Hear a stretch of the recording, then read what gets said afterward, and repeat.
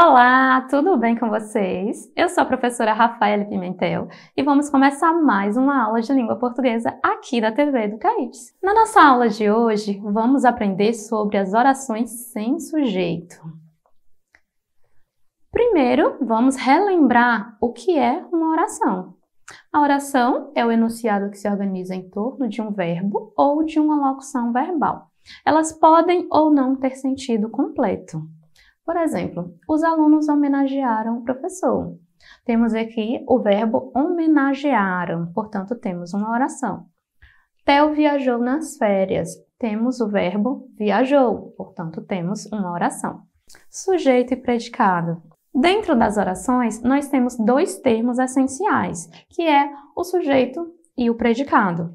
O sujeito é o elemento que executa ou sofre a ação expressa pelo verbo dentro do enunciado, enquanto que o predicado é aquilo que se fala sobre o sujeito, ou seja, corresponde ao enunciado feito. No predicado é aquela parte que tem o verbo, o objeto, os complementos. E quando a oração apresenta um sujeito, o predicado está relacionado a ele. Por exemplo, os alunos homenagearam o professor. Quem homenageou o professor? Sobre quem estamos falando? Os alunos, portanto, os alunos é o sujeito desta oração. E o que, que estamos falando sobre os alunos? Que eles homenagearam o professor. Portanto, homenagearam o professor é o predicado desta oração. No nosso segundo exemplo, Theo viajou nas férias. Quem viajou nas férias? Quem praticou essa ação de viajar? Theo, portanto, Theo é o sujeito desta oração. O que é que Theo fez? Ele viajou nas férias. Logo, temos aí o predicado viajou nas férias. Os sujeitos possuem três tipos. Eles podem ser classificados em três tipos determinado, indeterminado e inexistente. Nós já trabalhamos em aulas anteriores o sujeito determinado e o indeterminado. Então, nesta aula, vamos focar apenas no sujeito inexistente, que, é, que são as orações sem sujeito. Mas vamos relembrar um pouquinho o que, que é sujeito determinado e indeterminado. Rita esqueceu de fechar a porta. Neste caso, temos um sujeito determinado, pois conseguimos identificar quem praticou a ação desse verbo, que foi Rita. No segundo exemplo, esqueceram de fechar a porta.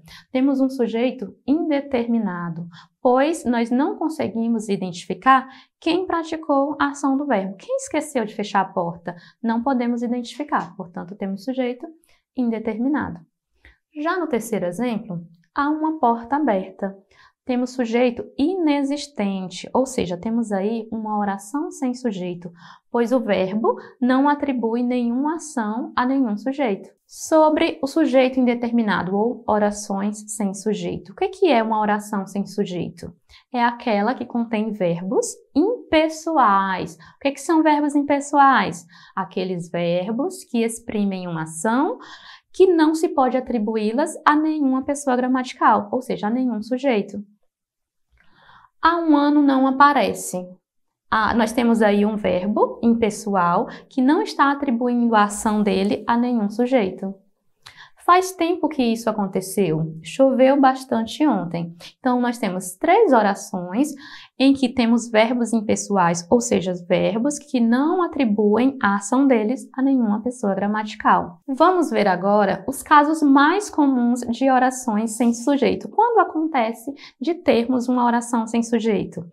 Primeiro, com o verbo haver indicando existência ou acontecimento. Então, quando na oração nós temos o verbo haver no mesmo sentido do verbo existir ou o verbo haver indicando um acontecimento, nós temos uma oração sem sujeito, como nos exemplos. Vamos aos exemplos. Houve uma bela festa. Neste primeiro exemplo, nós temos o verbo haver indicando um acontecimento. Que acontecimento é esse? Que houve uma festa. A festa é o acontecimento que o verbo haver está indicando. No segundo exemplo, havia 1.200 pessoas na fila de espera. Temos aqui o verbo haver indicando existência, a existência de 1.200 pessoas. Então, temos neste caso uma oração sem sujeito. No terceiro exemplo, haverá aulas na quinta-feira? Neste caso, temos novamente o verbo haver indicando o acontecimento. Que acontecimento seria esse? Das aulas. Então, neste caso, o verbo haver está indicando um acontecimento, portanto, não temos sujeito nesta oração. Chamamos de oração sem sujeito. No segundo caso, quando nós temos verbos ser, estar, fazer, haver, indicando tempo ou fenômeno natural. Nestes casos, também vamos ter orações sem sujeito. Temos aqui alguns exemplos com o verbo ser. Era noite. Então, nesse caso, o verbo ser, ele está indicando um fenômeno natural, noite. Então, temos um verbo indicando o fenômeno natural, portanto, temos oração sem sujeito. São 12 horas. Nós temos o verbo ser indicando o tempo, indicando as horas, portanto, oração sem sujeito. É uma hora. Neste caso, também indicando hora, temos o verbo ser indicando uma hora, então temos oração sem sujeito. É importante observar, nestes casos, quando indica hora, o verbo ele vai concordar com a hora que ele está expressando. Então, se é uma hora, o verbo fica no singular, 12 horas, verbo fica no plural para concordar com a hora que ele está expressando. Neste último exemplo, hoje é 15 de março. Também seria correto dizer hoje são 15 de março. O verbo está indicando data, então podemos usar o verbo no singular ou no plural. No singular, ele concordaria com a palavra dia, que está subentendida nesse caso, e quando usamos no plural, hoje são 15 de março, ele concorda com o número de dias que ele está expressando. Temos aqui alguns exemplos com o verbo estar. Está tarde. O verbo estar indica, neste caso, tempo. Está muito quente. Está chovendo. Este mesmo verbo está indicando fenômenos naturais. Portanto, temos oração sem sujeito. Outros exemplos com o verbo fazer. Faz dois meses que não chove. O faz, neste caso, indica tempo. Fez 39 graus ontem. O verbo fazer está indicando fenômeno natural. Faz frio durante a noite. Novamente, o verbo fazer indicando fenômeno natural. Portanto, nesses três exemplos, temos orações sem sujeito, pois temos o verbo fazer indicando tempo ou fenômeno natural. Exemplos com o verbo haver. Nestes casos aqui, há dois meses que não chove, há muito tempo não fazia calor assim, havia anos que não via. Temos o verbo fazer indicando tempo, portanto, orações sem sujeito. O outro caso em que temos orações sem sujeito é quando temos verbos intransitivos que indicam fenômenos da natureza. Nestes casos, vocês lembram o que é um verbo intransitivo?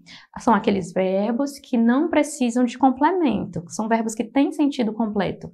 Neste caso aqui, são verbos intransitivos que indicam fenômenos da natureza. Por exemplo, chover, trovejar, ventar, nevar, amanhecer, anoitecer, são verbos que indicam fenômenos da natureza.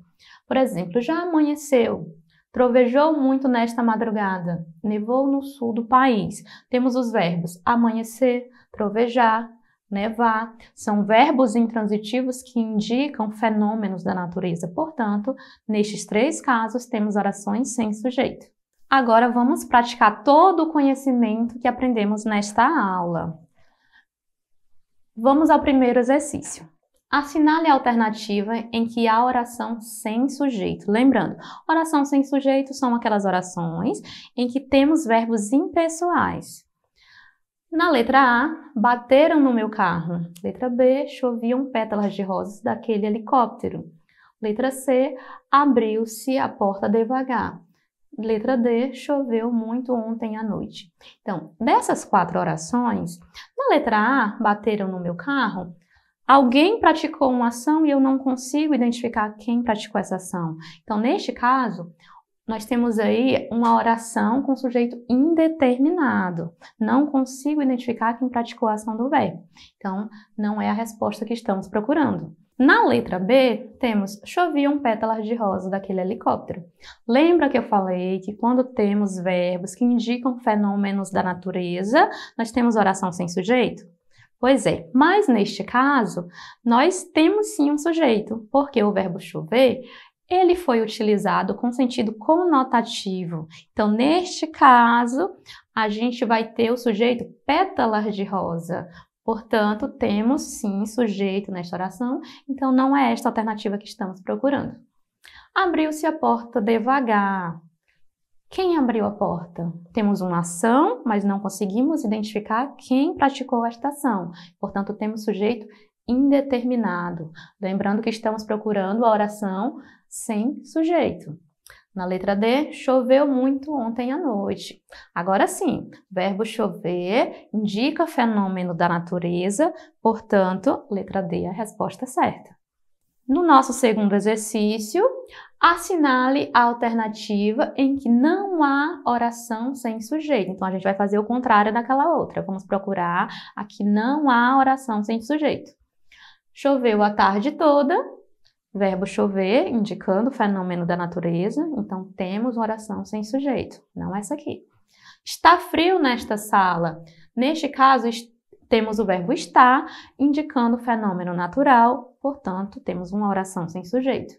Choveram propostas de emprego.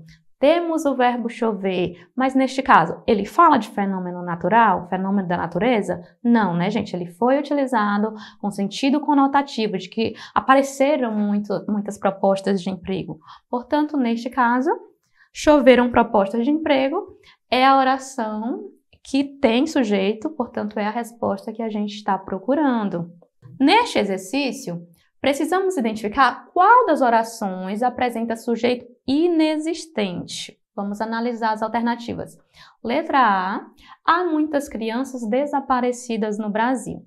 Neste caso, temos aqui o verbo haver com o mesmo sentido do verbo existir. Neste caso, o verbo haver indica existência. Portanto, já achamos a nossa resposta certa, né, gente? Mas vamos analisar as outras questões, ver que tipos de sujeito nós temos nas demais alternativas. Foram chamar o vizinho em cima da hora da festa. Foram chamar em cima da hora. Quem foi chamar? Alguém praticou uma ação, mas não podemos identificá-la. Nesse caso, temos uma, um sujeito indeterminado. Na letra C, precisa-se de atendentes, temos o verbo precisar, na terceira pessoa do singular, acompanhado da partícula si, portanto, novamente sujeito indeterminado. Na letra D, pintaram e bordaram na festa. Quem pintou? Quem bordou? Não podemos identificar quem praticou tais ações, portanto, sujeito indeterminado. Então, a única alternativa em que temos sujeito inexistente é a letra A, por termos o verbo haver no mesmo sentido do verbo existir. Vamos para o nosso último exercício. Explique por que as orações abaixo não apresentam sujeito. Então, vamos explicar por que, que cada uma delas é uma oração sem sujeito. Letra A. A cada dia fazia mais calor. Por que, que essa oração tem sujeito inexistente? Neste caso aqui, temos o verbo fazer indicando um fenômeno natural. Por isso, é uma oração sem sujeito. Na letra B é meio-dia. Temos o que aí? O verbo ser indicando tempo. Está indicando a hora, o tempo. Na letra C, há muita gente na praia. Neste caso, temos o verbo haver indicando existência. Ele está no mesmo sentido do verbo existir, portanto, oração sem sujeito. Nevou o dia todo. Temos aí um verbo intransitivo que indica um fenômeno da natureza, o fenômeno de nevar. Por isso que é oração sem sujeito. Nossa aula de hoje chegou ao fim. Eu espero que vocês tenham gostado, que tenham aprendido bastante e eu espero vocês na nossa próxima aula. Tchau, tchau!